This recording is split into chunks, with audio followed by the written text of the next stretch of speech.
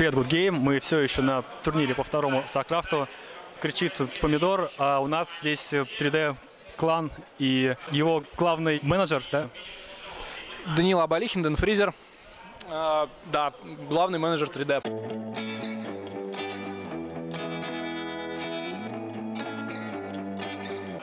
У нас э, из основного состава играло трое. Это Бик, Гуар и Юникс.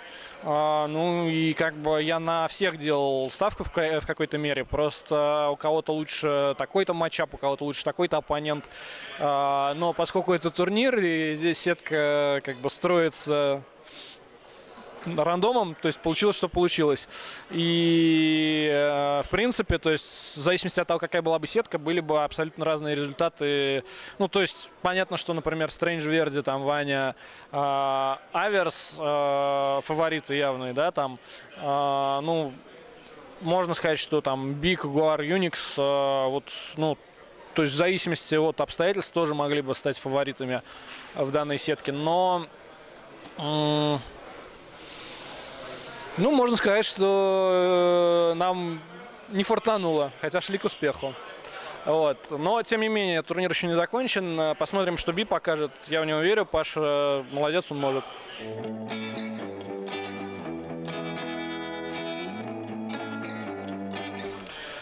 А, Ну, скажем так, есть крайне редкая история, когда я вмешиваюсь в то, как э, игроки готовятся именно к э, матчу с оппонентом, крайне редко.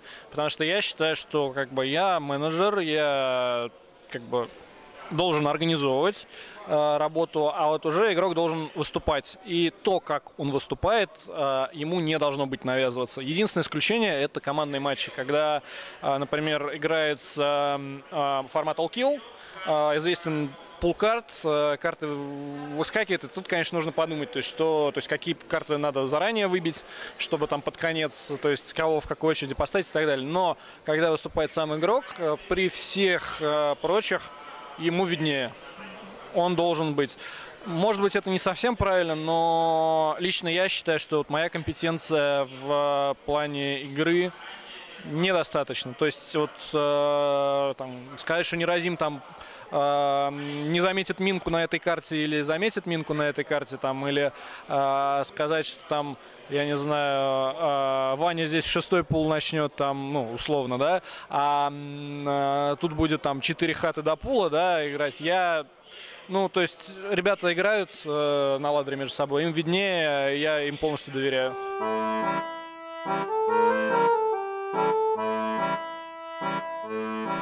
Ну, вот Кагуар тебе давал интервью на первом Road to Moscow э, в апреле. Вот он на тот момент он полгода вообще не тренировался. То есть все его тренировки это прийти на кланвар вечером, отыграть, а, м, выиграть, э, или, ну, очень редко не выиграть на кланваре. а, и все.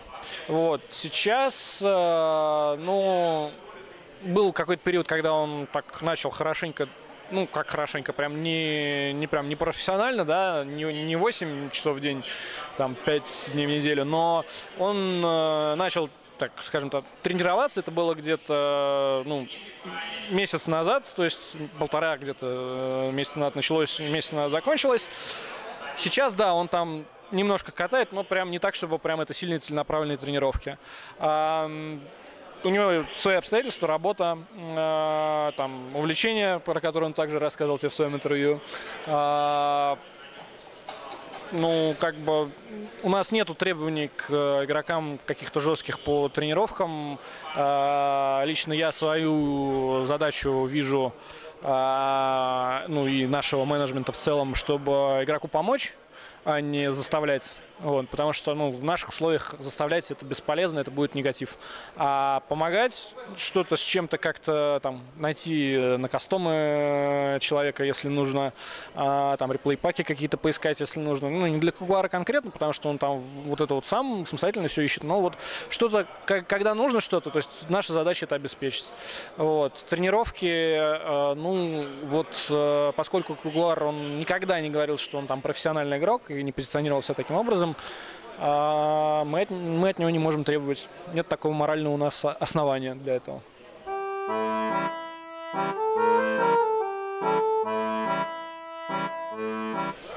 Ну, ты знаешь, я не думаю, что это прям, прям отговорки-отговорки, потому что, ну, Кугуар, он работает. Если рассматривать э, Артема Верди, да, ну...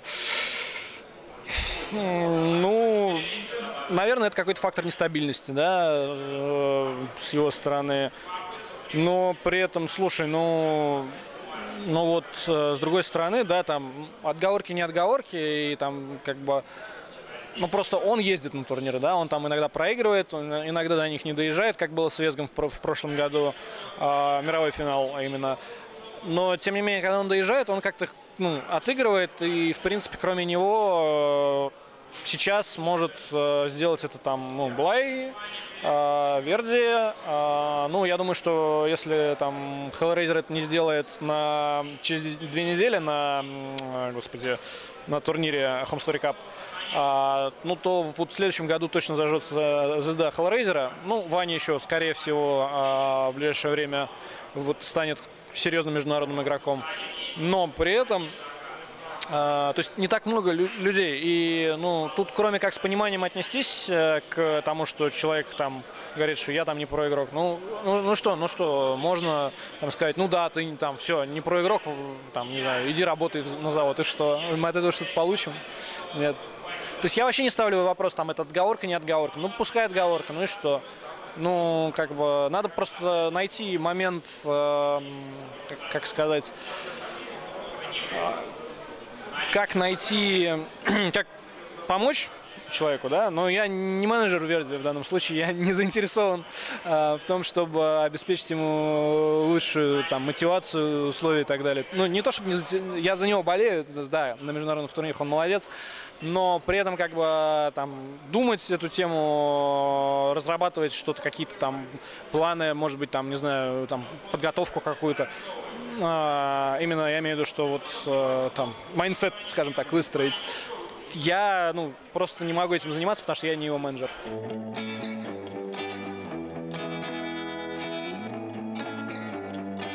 Мы стараемся, как? мы стараемся это делать. А, ну вот иногда получается, иногда не получается, как и все в жизни.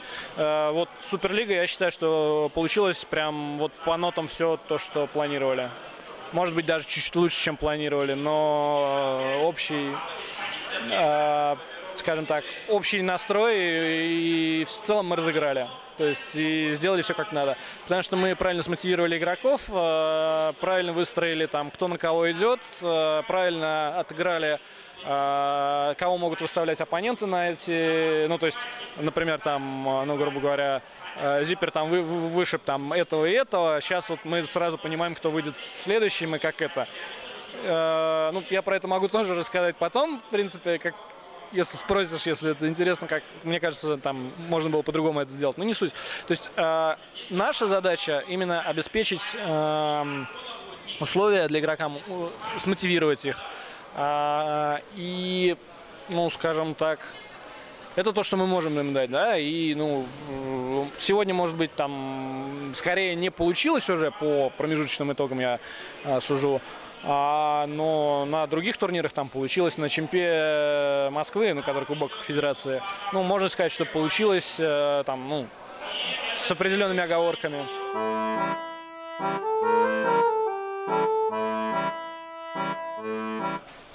А, ну, собственно, с зарплатами у нас а, в данный момент, а, ну, скорее никак, чем как-то. А, но при этом, скажем так, вот что мы можем, ну, скажем, сейчас. А, значит, по поводу зарплат. А, зарплатами у нас, а, ну, скорее никак сейчас. Это объективная действительность и, а, безусловно, Безусловно, все могут сказать, что вот, ноунеймы, валите, до свидос, э, там типа не удержали игрока, вот пусть ему платят зарплату, пусть он выступает.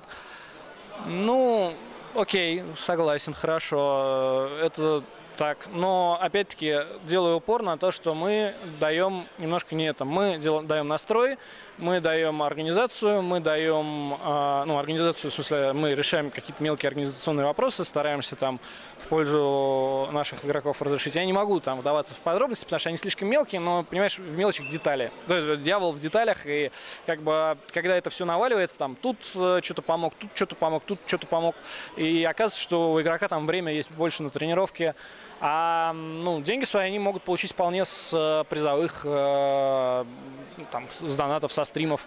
Э, мы комиссию никакую, естественно, не берем. Там, не, то есть на 100% все, что мы выиграем на командных лигах, например, мы делим между игроками. А, и это правильно. И да, я согласен, что типа зарплаты нужны. Это безусловно. А, это ну, конкретно лично моя недоработка. Я, ну, вот так получилось, что что-то чуть-чуть понимаю в пиаре отдаленно, да, но а, при этом я вот в фанрайзинге там, или в привлечении инвестиций я не понимаю, или в, реклам... ну, там, в привлечении рекламодателя я понимаю плохо. Кстати, а, друзья, если вот вы понимаете в этом а, и у вас есть желание как-то с киберспортом, конкретно со Старкрафтом, а, содействовать, то пишите, я думаю, я в комментах отпишу там мыло. вот, так что, то есть, как бы, у меня есть недоработки, да, то есть, а, нет зарплаты, это косяк. А, на каком-то, после какого-то момента мы не сможем, то есть, а, развиваться. То есть, если, например, куда-нибудь в следующем году у меня на WCS ребята будут ездить, да, и я это, наверное, из личных средств обеспечу, а, но вот уже зарплата крупная, да, это я лично не потянул. У меня был период, когда я э, из своих э, денег, у меня как бы э, пару раз я очень крупно заработал, я эти деньги вложил в 3D. Это был период э, с 2011 по 2014 год, когда в StarCraft были гораздо жестче зарплаты. А, ну, то есть, когда они вообще были, да, когда у каждого игрока, который где-то на турнирах что-то мог показать, они были. Причем были э, такие, которые сейчас там, ну, вот, у совсем топовых э, СНГшных ребят. То есть, парень с там топ-15 СНГ получал столько же, сколько сейчас получает, ну, там, э, топ-5 СНГ. Ну, условно говоря, я не буду, опять-таки, имен называть, но примерно, то есть, гораздо все...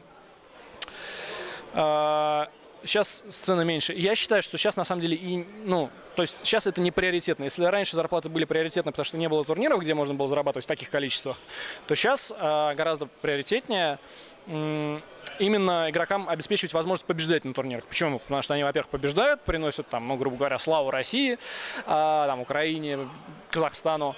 А во-вторых, они получают призовые. Они растут, они практикуются, и рано или поздно, я думаю, что это выявится в том, что там не один Блай у нас будет э, регулярно там в плей-офф ВЦС э, выходить.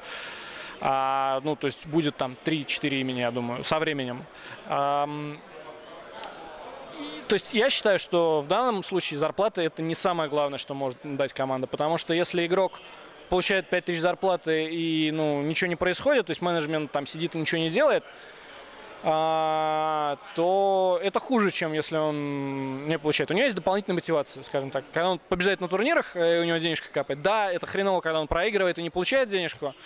Да, со временем это убивает мотивацию там быть профессиональным игроком. Но в данной, в данной ситуации я считаю, что вот в первую очередь обеспечивать условия, мотивировать, э, тащить там, играть на турнирах и так далее.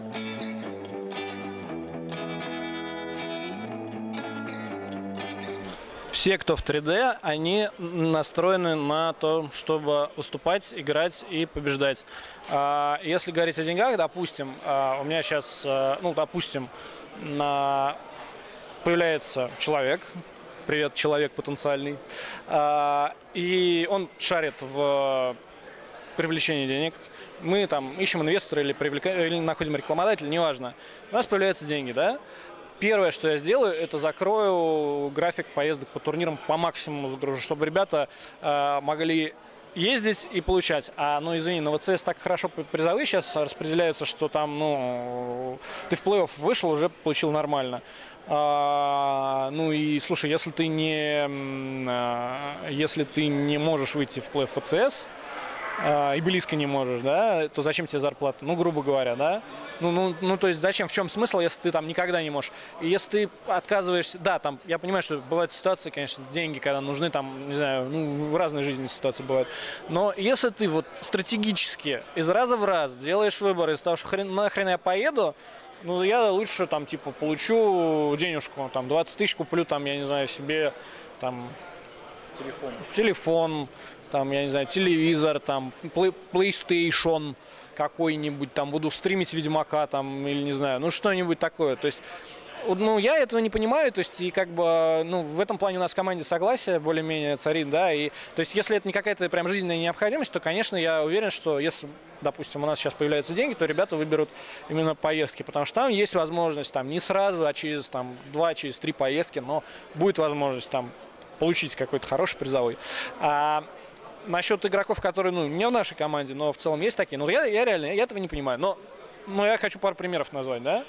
А, Неразим, а, вот мы с ним интервью записывали, он говорил, а, ну, вот мне команда частично покрывает, ну, то есть мне зарплату платят, а я езжу на турниры, а они лансапорта нету. Я говорю, покрывает зарплату турниры? Нет, не покрывает. Я езжу за свои. То есть ему зарплата покрывает половину лансапорта, а он еще половину из призовых с других турниров берет, видимо, там, и едет. Вот это, это то, что, ну, как бы э, надо не просто уважать, это нужно прям вот на таких игроков молиться надо. Я считаю так.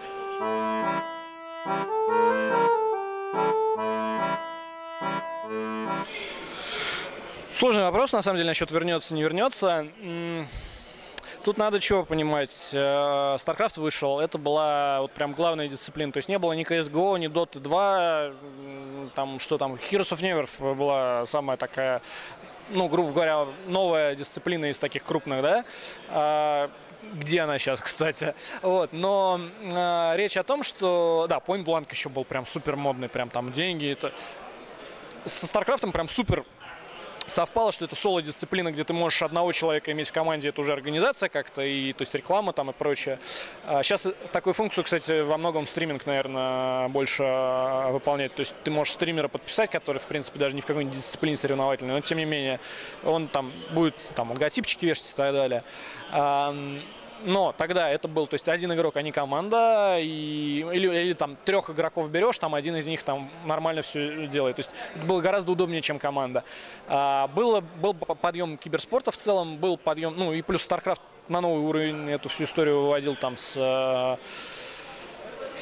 ну, с турнирами, с трансляциями и так далее. И, ну, пошел просто дикий бурный рост, причем э, очень часто этот рост он опережал, то есть, ну, люди просто инвестировали. Как их, кстати, сейчас, ну, на мой взгляд, э, в СНГ киберспорте, а как показывает э, несколько интервью э, англоязычных, там, бывший менеджер Evil Geniuses недавно об этом говорил, э, кибер- в в целом в киберспорте есть пузырь, да? А, ну, вот конкретно тогда пузырь был сосредоточен в StarCraft, и все соревновались, там, типа, э, э, кто больше надует StarCraft. Ну, там плюс еще некоторые моменты Blizzard, которые они неправильно выстроили на тот момент. Сейчас э, гораздо лучше, прям, вот, прям супер. То есть корейцы Что именно? ну, лично на мой взгляд, э, в 2012 год они WCS проводили как чемпионат мира с отборочными по странам. Это было очень круто, потому что WCG уже все выдохся на тот момент. А, И они отказались от этого и сделали, значит, чемпионат, э, ну, вернее, сделали лигу, причем там онлайн, э, лигу Challenger и премьер оффлайн тоже неплохой формат на самом деле. Но блин ну зачем там корейцы были? Зачем в Европе в Америке были корейцы? То есть пусть они соревновались отдельно отдельно. И ну когда у тебя там типа европейские челленджеры все там в плей-оффе почти все корейцы а там ребята из России вообще не имеют шансов но мне это неинтересно было смотреть ну честно. То есть вот я там какой-то чемпионат мира где финал одни корейцы очень классно, круто. Но когда ты смотришь только это, это неинтересно. Я считаю, что региональные сцены, как, как и всем, как бы, а, много ли бы в России смотрело футбол, если бы не было там Спартака, ЦСКА, Динамо, там, бэкграунда у них и так далее. Вот это была, большая ошибка, сейчас от этого ушли, и вот мне это очень нравится. Вот. И возвращаясь к вопросу с зарплатами, а, тьфу, к, вопросу, вот, как это все росло, там, зарплаты и так далее, почему это все закончилось. Ну, пузырь хл- схлопнулся, Э, Dota 2 появилась, она супер выросла очень быстро там. В какой-то момент, э, ну вот у меня был же состав по Dota 2, да, и там был Дред и Соло. Э, Nexus еще был очень сильный. И, кстати, Шарфик, ну, четверка прям очень сильных ребят. Дред стал, ну, остался комментатором. Соло это соло. И ну вот в тот момент, я помню, Дред собирает на трансляции 26 тысяч зрителей, а ну, грубо говоря, по, ну, по условиям они были готовы на то, что там, ну, по затратам то есть там LAN support, там еще какие-то небольшие штуки, на которые мы с ними договаривались тогда. Это было сопоставимо с э, двумя сильными игроками в StarCraft, там, ну, уровня, причем слабее Хэппи, Братка и прочих. То есть вот в какой-то момент была такая штука. И все, просто деньги перетекли туда. В StarCraft еще вот это вот все пошло на спад по зрителям, тоже перетянуло Дота, и все схлопнулось. А сейчас это пойдет это или нет, но как бы StarCraft потихоньку, потихоньку, потихоньку как-то э, возвращается на Близконе отличные цифры, и весь год э, целые отличные цифры. StarCraft в целом интереснее, но при этом финансы будут ли а, также вовлечены? Я думаю, что резкого бурного прям роста может не быть. А, сейчас, но будет постепенный рост, будет постепенный рост конкуренции.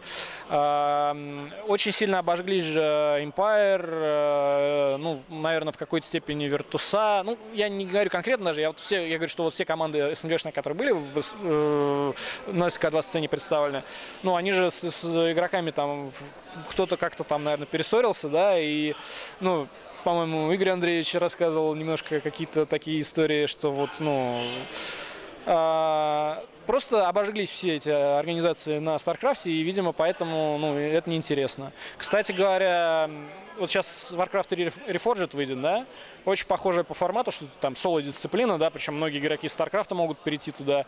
Зрительский интерес может оттянуться туда. И мне, кстати, кажется, что вот если Warcraft сильно оттянет, там, половину аудитории StarCraft, то это будет плохо, очень плохо StarCraft. Но не знаю, то есть Короче, я считаю, что взрывного какого-то роста, как раньше, не случится. Э, должно, должно, скажем так, э, ну, сколько-то, какое-то количество денег э, или инвесторов, то есть ну, рекламных денег, либо инвесторов какое-то количество должно прийти, как минимум, на европейскую сцену дополнительно. Соответственно, у некоторых СНГшных игроков вырастут зарплаты, которые играют в России. И на этом стабилизируется. А, вот. Ну, то есть в следующем году, если Warcraft не выстрелит. А если выстрелит, то я боюсь, что на самом деле это Warcraft прям супер сильно не принесет никаких плюшек, там, кроме там трех-четырех игроков э, с точки зрения зрительского интереса, да, и там, ну, какой-то дополнительной зарплаты для игроков тоже небольшой. А при этом StarCraft типа сильно просядет. Я вот боюсь такой истории, честно говоря.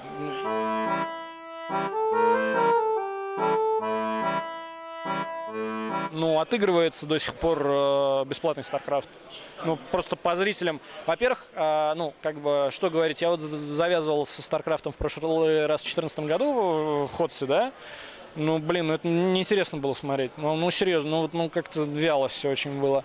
Сейчас это прям вот, ну, Рубилова, Мочилова, доля рандома очень неплохая. То есть есть качели, никогда не знаешь там, э, ну, грубо говоря, как мина. Кстати, еще вот, э, я об этом тоже когда-то говорил, мне Wings of Liberty чем дико не нравился. Никакого рандома. Колосс, три колосса подходят, э, более-менее там раскликал и понимаешь, как они нажгут. Как Дизраптор зайдет, ты не знаешь. Поэтому вот Wings of Liberty этих штук не было, в Ходсе уже чуть-чуть там минки появились, еще что-то. Вот сейчас э, такая игра, что есть есть качели постоянно, это интересно смотреть, это круто. И там потом еще там на форуме там после матча можно там типа, ну если бы там Минка не зашла, то было бы там 10-0, а так 0-10 по картам. А, интереснее стало. И вот э, за счет интереса, плюс за счет того, что они в нужный момент сделали бесплатным, хотя, то есть, как бы, ну, то есть, э, нужный момент за счет того, что стал, стал StarCraft интересен, но на самом деле StarCraft нужно было делать бесплатным, ну, так вот, когда HOTS вышел, то есть компания платная, а мультиплеер бесплатный, на мой взгляд. Ну, понятно, что Blizzard для чего это делали, чтобы денег больше заработать, именно вот так три аддона там с каждым мультиплеером. Но тем не менее, то есть суть э, в том, что сейчас StarCraft интересно смотреть, сейчас он стал бесплатным, люди возвращаются, э, и вот пока еще это действует волна. Все, больше никаких других. То, что там сериал, да, я думаю, что вот мы в ближайшие полгода, если, если этот фактор сыграет, то мы увидим через полгода, ну, то есть за полгода следующий еще рост популярности. Сейчас я вижу, что это по всем новостям, да, даже там, ну, по нашим, по-моему, СМИ прокатилось, там, которые про киберспорт там пишут, что там кишки наружу нинджа. Вот, то есть сейчас я вижу там даже в паре таких вот ядреных, что типа вот не кореец в Старкрафте. Может дополнительную аудиторию привлечь, но не уверен, что это прям 100%. То есть это вероятность. Но если это вероятность, мы увидим ее в следующие полгода, да.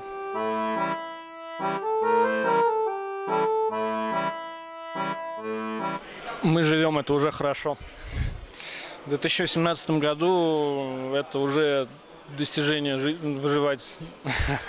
Нет, на самом деле, эм, ну вот мы потеряли Ваню, да, многие говорили, что все, ну что, типа, мне там один человек сказал, ну что, ну команда у вас на этом закончилась, что там, Коуин активный, э, Би там нестабильный, э, Зиппер растет, ну типа когда он еще там вырастет? Нет, нет.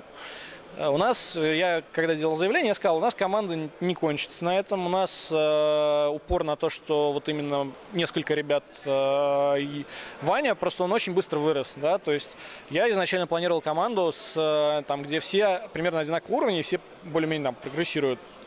Ваня очень сильно вырос. И, конечно, на, ну, то есть, на его фоне могло кому-нибудь показаться, что там остальные не очень.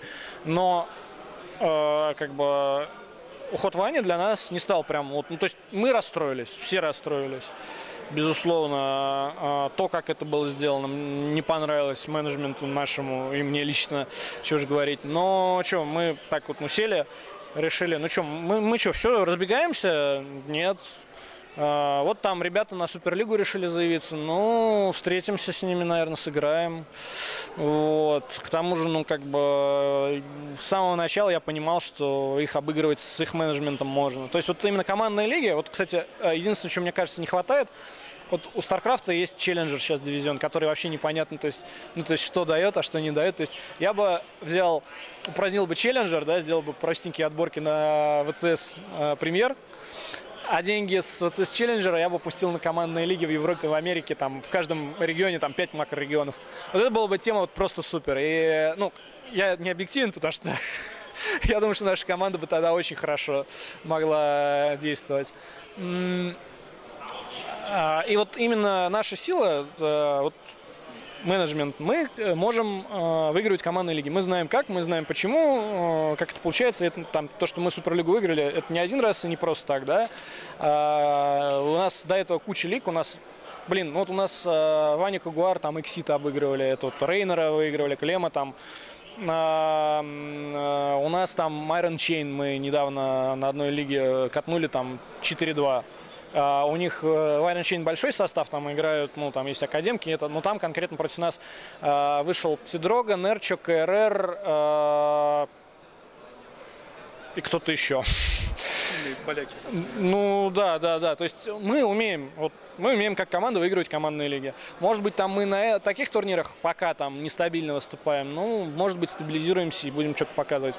Да, я не ответил, что, собственно, у нас какие там планы по игрокам и по прочим. Ну смотри, э, вот у нас реально кое-кто смотрит на Warcraft, э, после этого. Хотя это тот же самый Warcraft, только с лучшим графоном, но, блин... Кто смотрит у вас? Диппер? А вот это секрет. А вот это вот, вот этот секрет. Ну, скажем так, я отдам подсказку. Этот человек играл в Warcraft. Вот. И у него есть человек, который, друг, его друг, одноклассник этого человека, а, он должен был войти в топ-3 WCG 2011, но не вошел. И вот я думаю, что вот этих двух товарищей мы вот попробуем заграть в Варкрафте. Посмотрим. Я не уверен в этом. Может быть, там что-то как-то не так пойдет с Варкрафтом. А может, там сразу пойдет такая конкуренция, что и состав не собрать. Но вот а мы, в общем, мы на Warcraft смотрим. Uh, у нас академка действует. Uh, в академии много перспективных игроков. Мастер Яша, например, uh, очень такой интересный зерк с Лайкраб, Дидан. У нас, кстати, Рузерк в академке. Ну, потому что он не может сейчас вот прям сильно много на игру ориентироваться. Он делал перерыв. То есть, если бы он там постоянно играл, да, и сейчас бы ушел в работу, то играл бы, наверное, на уровне первого состава. Но поскольку он там делал перерыв, и у него сейчас нет времени, чтобы переосмыслить там ну, грубо говоря, там год, полтора, два Старкрафта, пока его не было. Ну, вот он там, ну, грубо говоря, на 6К не играет, да, поэтому там в Академке играет по фану и нормас. Вот. А, кроме Академки и вот основного состава, ну, в принципе, на самом деле, ну, что, у нас Шесть игроков в основном составе. Это, значит, Big, Jaguar, Unix, Zipper the Fly, Lightweight и. У нас 6 игроков из трех стран. Мне кажется, очень прям хороший сбалансированный состав. Я против крупных составов э, основных. Ну, в академике там вот как раз э, много надо людей набирать, потому что кто-то отваливается, кто-то приходит, и чтобы это все работало, можно брать количествами. Качество, ну, оно в первом составе. Так вот, я считаю, что много игроков не должно быть в первом составе. Если в первом составе там 5-6 игроков все очень плотно общаются, корешат, э, то это, ну, это гораздо круче, чем а, там 10 игроков набрать примерно одинакового уровня, чем грешат европейские коллективы. Некоторые, ну, не буду показывать пальцем, но все знают, я думаю.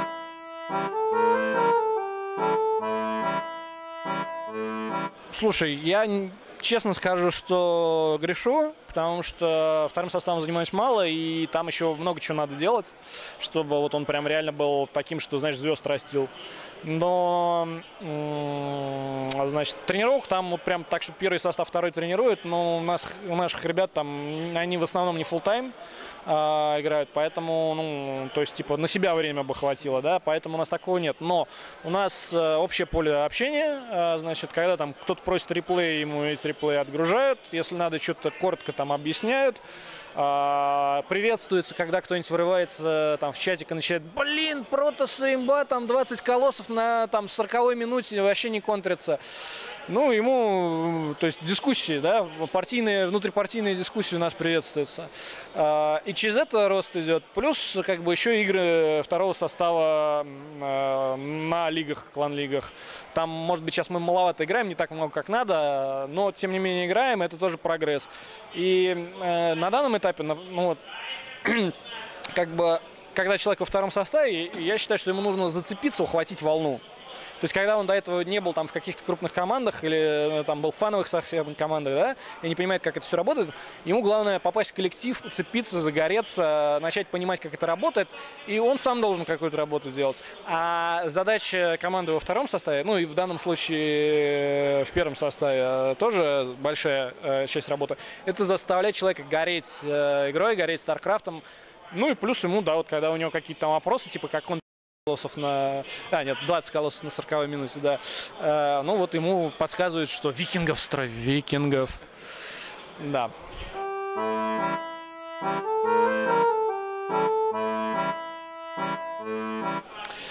Э, я считаю просто, что так делать нельзя.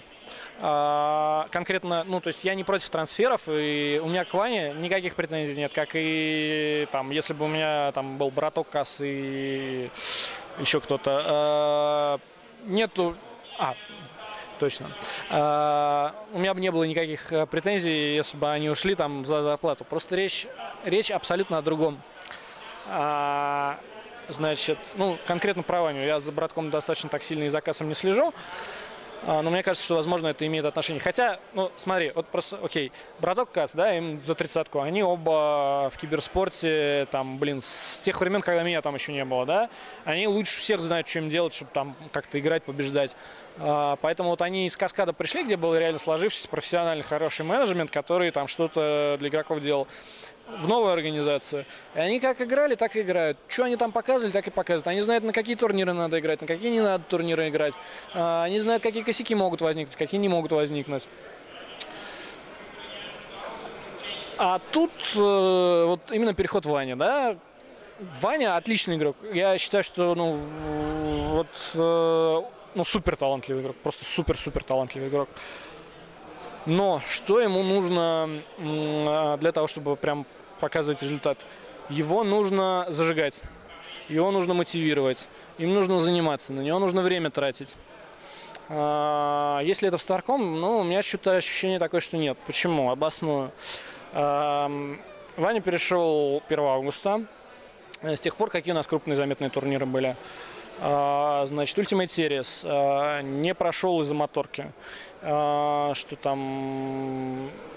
Ну, премьерка вторая. Окей, без вопросов второе место прям заслуженно, там со Стрэнджом, может быть, там пободаться бы стоило, но не суть, заслуженно, окей, но это было сразу после этого. Потом, а, значит, э, на, на ВЦС отборочный, я не помню, там он играл, вообще не играл, не видел. А, Там что еще? Кубок э, Федерации не смог в тройку войти, это вообще феноменально. А, вот сейчас он уже, по-моему, да, он уже в тройке точно. Да, там второе, по-моему, место минимум, да, второе место. А, значит, еще там несколько, да, Суперлигу не отыграл нормально, вышел в конце. Спорный вопрос, нужно ли ему было в конце выходить или в середине матча.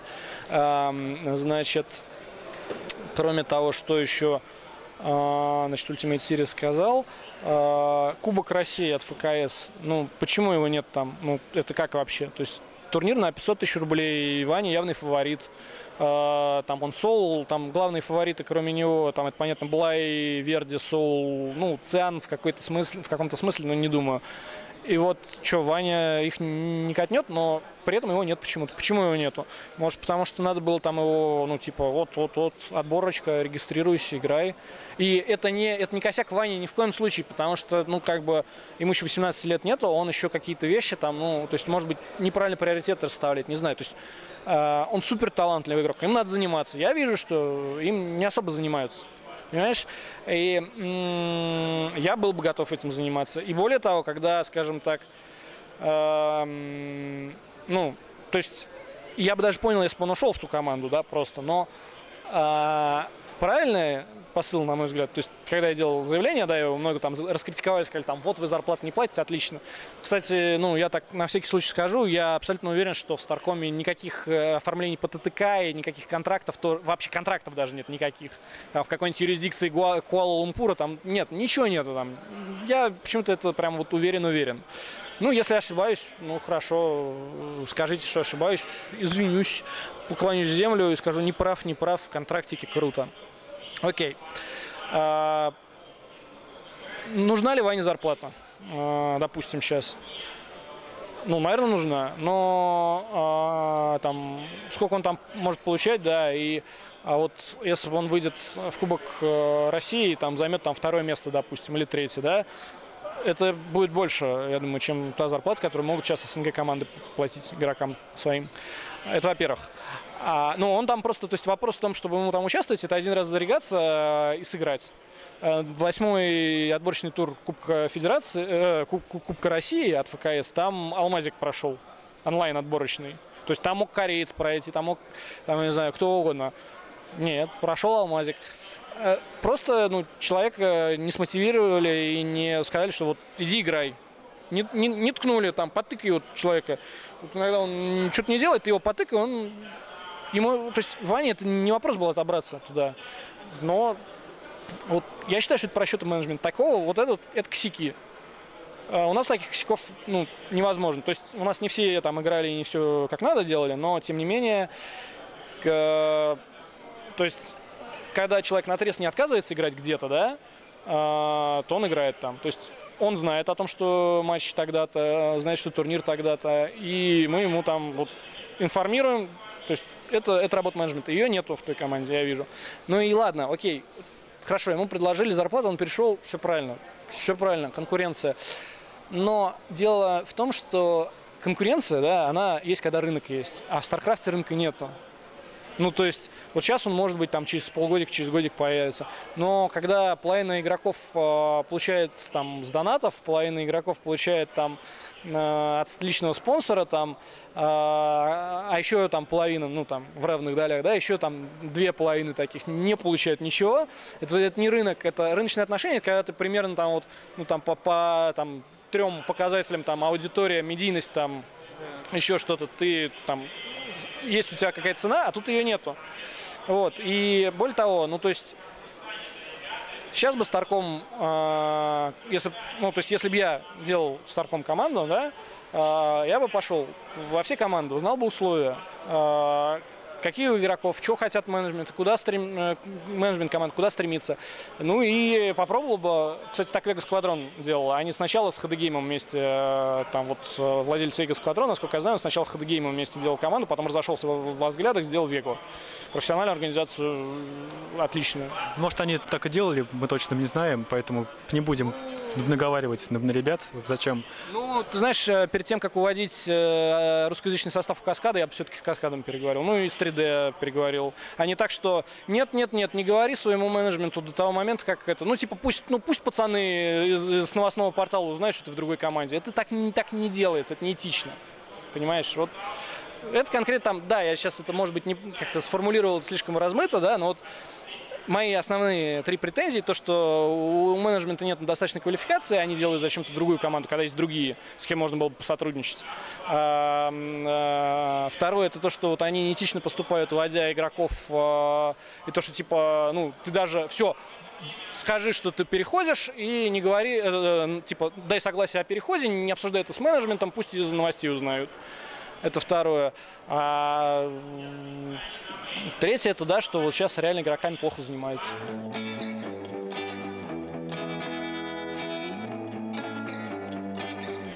Почему не говорили перед менеджером? Ну, просто посчитали, что, а что, я могу сделать, почему, ну, типа, нет. Ну, просто они не понимают, что, ну, если StarCraft реально будет расти, да, куда-то, и будет конкуренция создаваться, и рынок будет создаваться конкурентный, то их также прокатит. Я в этом поучаствую помогу другим командам у них увести игроков также. Абсолютно в таком же контексте. Потому что, ну, я считаю, что должна быть коммуникация между участниками там, рынка или не рынка. Я не считаю, что это рынок, честно говоря. То есть до рынка э, тут как до Луны. А, но, тем не менее, если мы его хотим создать, а, мы должны на ранних этапах хотя бы не конкурировать когда конкуренции не нужно, не нужно, потому что есть э, вот сейчас игроки в зарубежных командах, которые на очень хороших условиях могут русскоязычный коллектив представлять, когда есть игроки вообще без команды, да, а, тут не нужна конкуренция, тут нужен, ну, как тебе сказать, консенсус. Ну или хотя бы, хотя бы диалог должен быть, дискуссия должна быть. Там типа, ну я у тебя игрока забираю, а зачем? Не, я забираю. Ну, забирай. Или нет. Или я забираю. Ну, слушай, давай договоримся. О чем нам с тобой договориться? А вот об этом. Да, ну, давай. У тебя какие ценности? Ну, я хочу построить топ-команду. Слушай, а у меня уже это топ-команда, но вот у нее там что-то не хватает. Вот, вот это вот, вот этот диалог такой, который, я считаю, что э, он бы помог StarCraft сильно.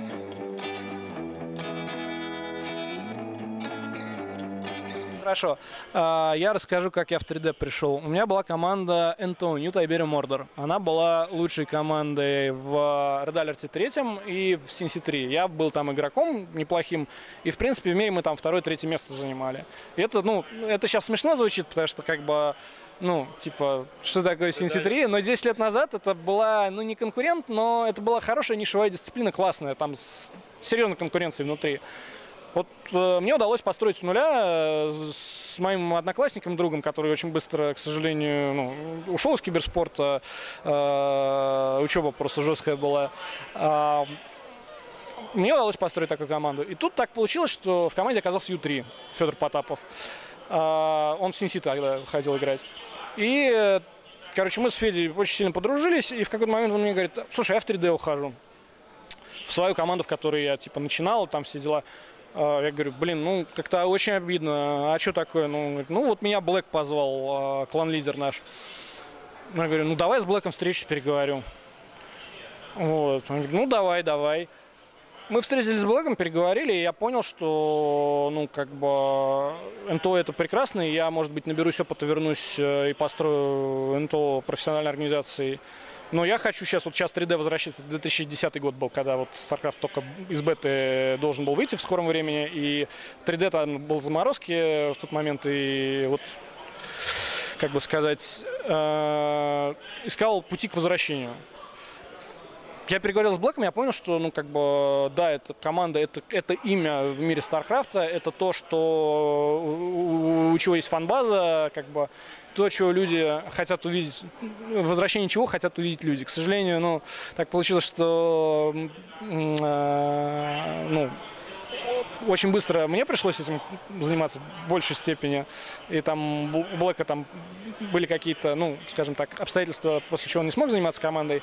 И у меня опыта не хватило сделать э, более конкурентную спас, э, команду. Плюс тогда деньги уже решали в тот момент очень сильно. Но я вот сделал выбор, да, я оставил свою команду а, и перешел в 3D. С тех пор я в 3D. А, переименовывать Старком, там 3D, ну что, можно было бы сделать 3D Старком. Почему нет? Ну, как бы я не к тому, что чё, я не к тому, что типа, эй, иди сюда, деньги свои неси. Нет, я не в этом плане. Но, блин, если ты выводишь игрока из существующего коллектива, ну, ты поговори с менеджментом. И сказ... хрен со мной. Ладно, я там как бы не говорю, что там именно со мной нужно. Ну, блин, ну можно было бы с Каскадом связаться. Ну, Каскад, блин, ну это, ну это профессиональная организация, которая вот, ну, 3D не осталось, э, Роксов не осталось, Empire не осталось, Virtus.pro не осталось, одни каскады были. Они 4 года, когда StarCraft никому не интересен был, вывозили на, себе, на своем горбу, ну там, да, 4 года, э, вывозили на своем горбу все. Ну это же, ну, ну это неправильно. Понимаешь, просто это э, никому не интересно будет, если у нас через сто лет в киберспорте будут каждый год появляться какие-то новые, там, условно, Старкома.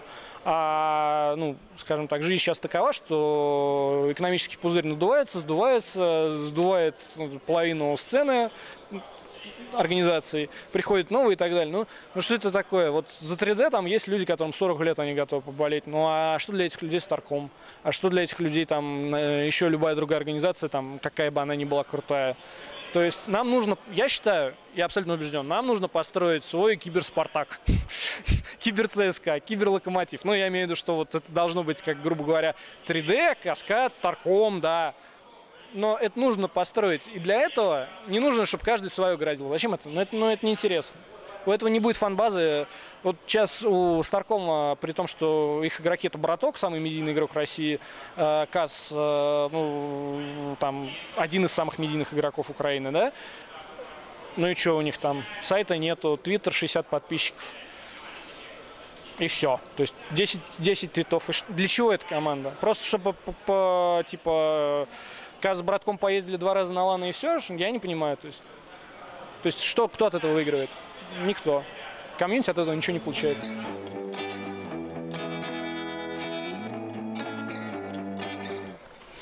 А, это команда друзей, которая выросла в очень серьезный коллектив. Они это сделали без денег на идеи, и это жизнеспособно.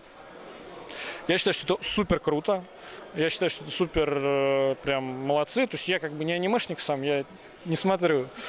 Вот. Но, блин, то, что они сделали, это круто. Я, в принципе, общаюсь с э, менеджментом ХТТ, и в некоторых местах я с ними прям сильно не согласен, потому что, на мой взгляд, э, ну, там, я не говорю про то, что у нас там в какой-то момент мы очень скоро упремся в потолок, и дальше мы никуда не вырастем без э, какого-то там качественного скачка. Ну, вот, мне кажется, у ХТТ там тоже может быть такая проблема в ближайшее время. То есть у нас я знаю, что если там я сейчас рывок не сделаю, то мы там упремся куда-то. Вот у ХТТ в какой-то момент они упрутся тоже. Но при этом э, я думаю, что вот, ну, у них там большой коллектив, у них там куча игроков, причем вот у них реально пацаны растут. То есть это вот их академия, она работает. Если 3D-шная академия, она еще должна заработать, то ХТТ-шная академия, анимешная академия, да, она работает, они кучу игроков вытащили, там Ниган, э, там, ну, Арктур, по-моему, он тоже из Академии вырос, я тогда не застал, когда он там появлялся.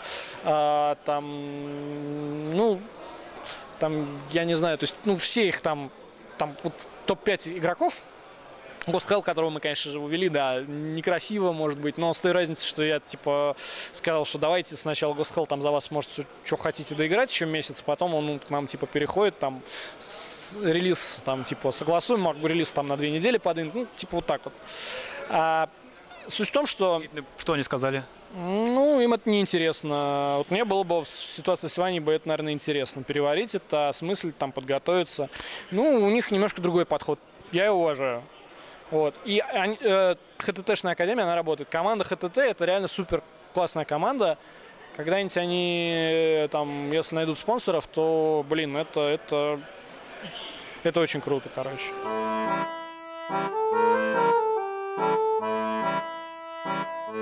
Знаешь, в чем разница между... Почему у ХТТ больше шансов, чем у Старкома стать Спартаком через сто лет? А ХТТ держит идея, и там какой-нибудь финансовый кризис э, в масштабах одного э, спонсора э, команду не подкосит. Это комьюнити. И, значит, 3D тоже когда-то было там кланом, комьюнити, переросло в команду, да, но уже вокруг 3D собирается там а, какое-то определенное количество людей, которые всегда там советом помогут, кто-то, кто дизайном поможет и так далее. То есть мы тоже комьюнити, но с с, ядром команды, да. Вот ХТТ сейчас они в таком, э, ну, грубо говоря, в таком этапе своего развития, что вот от Uh, у них вот прям вот, uh, как сказать, очень равномерно идет там вот именно вот там топ-1 uh, там от топового состава к там, третьему, третьему составу. То есть у них у них пока все плавно, то есть такое. То есть со временем кристаллизируется там команда, может быть, комьюнити там фанатская оформится вокруг тех, кто у них там вторые, третьи составы. А это идея. ХТД это идея. Клан для друзей, который делает там пара человек, э, менеджмент, э, и она живет, она жизнеспособна.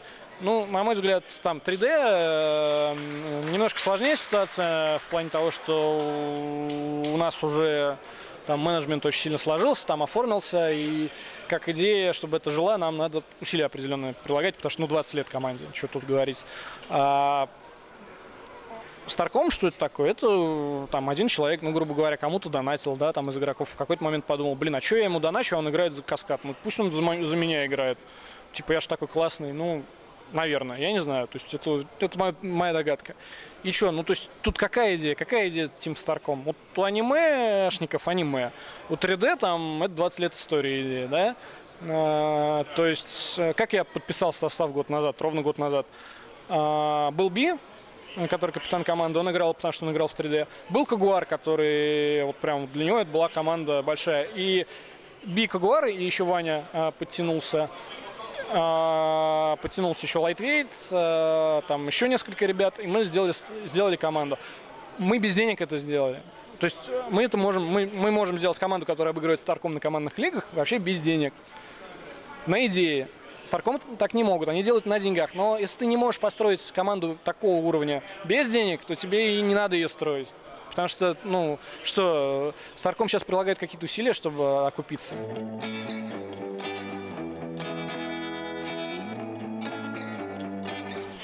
Ну, во-первых, я хочу сказать, что это лучший турнир, который был э, сделан именно комьюнити, да. Но на самом деле это турнир получше и многих ВЦГ, которые я припомню. Или Техлапс, когда там 12 часов парни ждали начала игр своих. Э, э, то есть турнир на очень высоком уровне сделан. Я профессионально организовывал мероприятия три года, а, там типа клубные, конференции там на несколько тысяч человек. И я вижу, что это Красти Крабс в прошлый раз при помощи ФКС города Москвы делал, а, за что им спасибо. А, это было тяжело. Сейчас он делает, ну вот я вижу, что он бегает, там еще там ему люди помогают.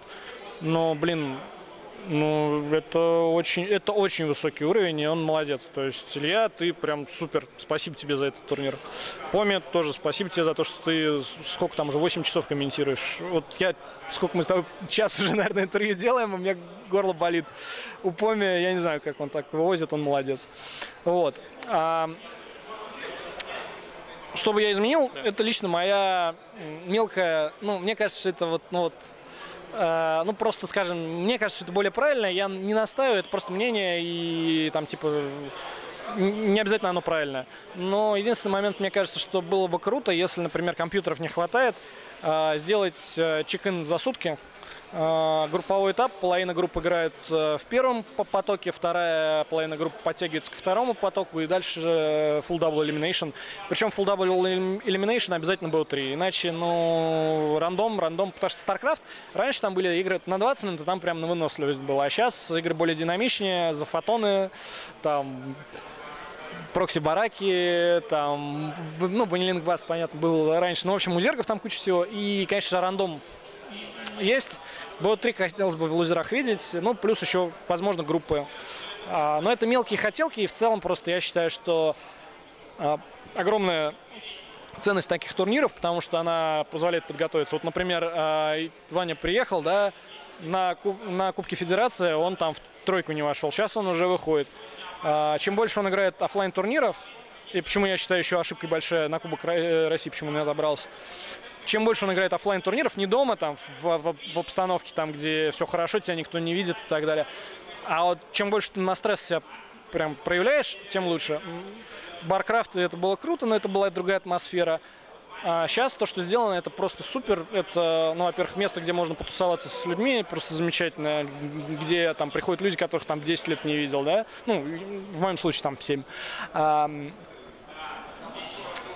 И, в принципе, если там не последний роут мозг, то я просто буду счастлив. Вот и все. Не последний, если. Какие-то приветы слова ребятам ну, я, во-первых, передаю привет всем ребятам э, из 3D, кто не доехал, а, конкретно, особенно тем, кто должен был доехать, но в последний момент соскочил. Э, ну, Влад, Кира, Андрей, привет. Вот.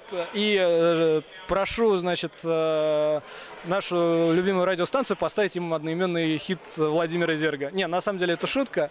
А, ну, всем зрителям Гудгейма я бы хотел пожелать, э, если они еще не заснули на этом интервью, Ребят, любите StarCraft, смотрите StarCraft, не, дел, не приносите StarCraft немыслимых жертв, только те, которые вы можете вывести. А, ну и, конечно, я желаю всему нашему старкрафтерскому комьюнити качественного и количественного роста. Спасибо. Спасибо тебе.